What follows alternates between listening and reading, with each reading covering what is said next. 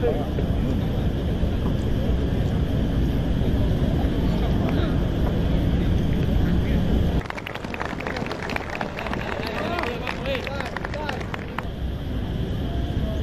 hiệp đấu đầu tiên thì U23 Philippines sẽ ở phần sân bên phía tay phải màn ảnh nhỏ của quý vị và các bạn. Phần sân mà họ đã cầm hòa đội tuyển U23 Việt Nam thành công.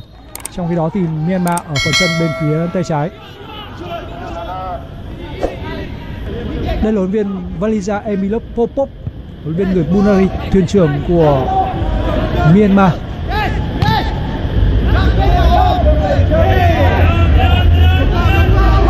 Rất nguy hiểm. Cơ hội cơ hội đầu tiên thuộc về Myanmar. Đã có bàn thắng dành cho Myanmar trong trận đấu với U23 Philippines sai lầm đến từ hệ thống phòng ngự của Philippines và cầu thủ mang số 10 Winantun Winantun đã có một tình huống dứt điểm. Xuất sắc, hạ gục thủ thành Cameras bên phía U23 Philippines.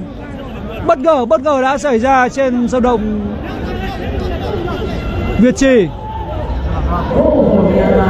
Chúng ta cùng xem lại pha bóng này. Và dứt điểm rất kỹ thuật của Minang Tun bóng xuyên qua khe chân của Cameras của thủ thành cao tới 1m85 các chân sút cự phách của U23 Việt Nam trong suốt hơn 90 phút không thể ghi bàn vào lưới của Cameras. Headball White khá hợp lý tạo bóng đi. Nguy hiểm. Quý Tên, không vào. Bóng trung quốc rộng. Không được. Rất tiếc cho Winantun U23 Myanmar đang hoàn toàn áp đảo. Chúng ta cùng xem lại pha bóng này. Rất trống trải, không ai kèm. Miguel Reyes rất tiếc là đường truyền của Burdick đã không thể đến được với Miguel. Rất hay, đường truyền vào khoảng trống. Tốc độ của Myanmar. Không vào. Rất tiếc cho chân sút của Myanmar. Người bỏ lỡ cơ hội vừa rồi là cầu thủ màu số 9 Hazet Pio Wise Đối mặt đã có bàn thắng lưới đã rung lên, nhưng có lỗi việt vị của cầu thủ Myanmar. Rất tiếc cho những tình huống xử lý cuối cùng của các tiền đạo bên phía Myanmar. Đáng nhẽ họ phải làm tốt hơn rất nhiều, Đặc biệt là cao Khan. Đường truyền tuyệt vời của tiền vệ áo số 7 Rinmeo Yang. Chạm đầu của Yang không lỗi và sau đó, anh đã phải thực hiện tình huống dứt điểm ở một tư thế khó hơn. Của bà miền bà thu hai bàn. Đều đến từ những tình huống cố định. Bias. Nguy hiểm đã có bàn thắng cân bằng tỷ số cho các thủ Philippines. Chúng ta đã cảnh báo về điều này và người đã góp công đó là Mendoza. Mendoza có vẻ như người đã đánh đầu chuyền bóng vào phía trong để có một cầu thủ nữa của Philippines dứt điểm. Sai lầm đáng tiếc thuộc về thủ thành Piatiotu.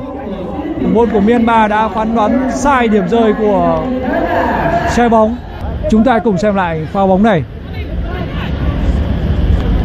người đánh đầu ghi bàn cuối cùng là Burdick Diaz penalty mọi thứ xoay chuyển quá nhanh và nó đều đến từ những sai lầm, có thể nói là rất nghiệp dư của các cầu thủ U23 Myanmar. Sai lầm có thể nói là vô cùng đáng trách. Một tình huống mà Bias đi bóng về phía ngoài không nguy hiểm. Nhưng Sue thì lại phạm lỗi một cách có thể nói là rất ngơ ngẩn. Burdick và Fiotiu Burdick!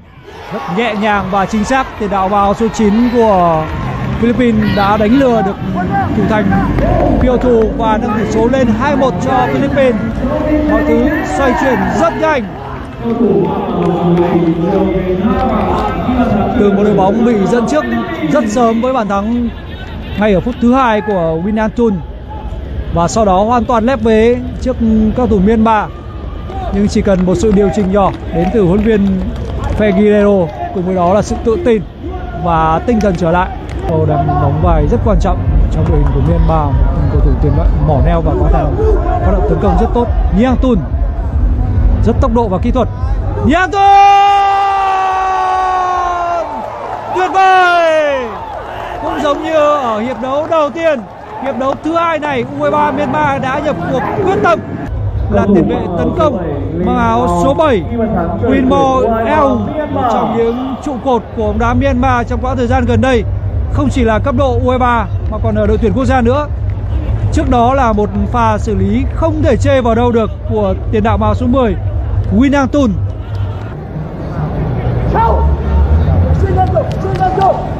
Kaung Khan cái chân trái của Kaung Khan cũng rất khéo léo. Huyết ba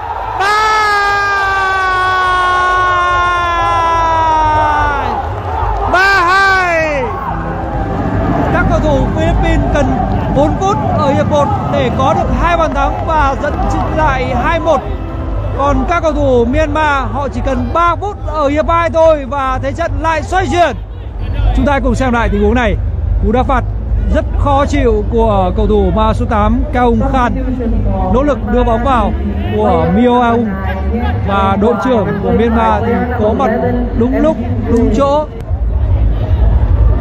Nguy hiểm, dứt điểm đi! Đối mặt! Không vào!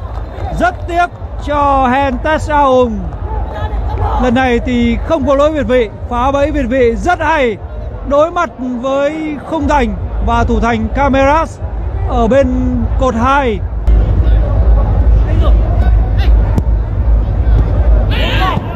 Mendoza. Chung ngay lập tức, Benit Chung Salaza đã lên tiếng bằng một tình huống không chơi bóng và dứt điểm rất nhanh ở trong khu vực 16 50 của Myanmar.